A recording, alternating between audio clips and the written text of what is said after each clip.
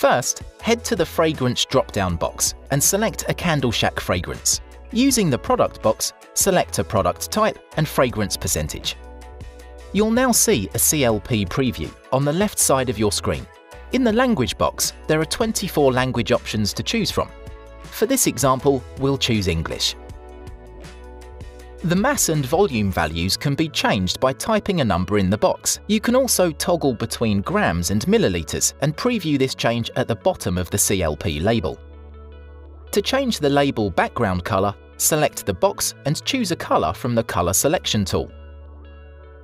The title of your CLP label can be changed easily by adding text to the product name box.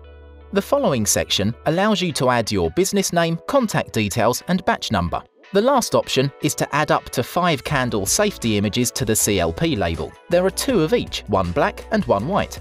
Using the up and down arrows below the CLP label preview, we can adjust the text position on the label. To toggle the border of the label on or off, use the Show slash Hide border button just below the label preview.